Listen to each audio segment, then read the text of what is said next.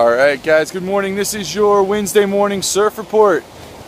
Waves today are a little bump out there this morning.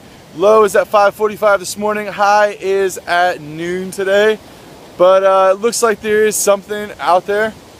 May want to check a higher tide break and uh, it could be pretty fun. It's probably one foot, maybe two right now. You may be able to find some waist high sets if you find the right break. Anyway, come in and see us at the shop. We've got a whole bunch of new stuff. We just got some new Jensen Beach stuff in um, with the local area on it. Also, we have a bunch of new swimwear for men's, women's. Hurley just came in yesterday and the stuff is awesome. We have some new Rip Curl as well.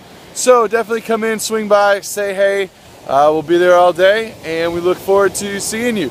Um, keep checking in. The waves should be getting better all week long and it should be kind of fun. So Look forward to seeing you out there. See you guys later.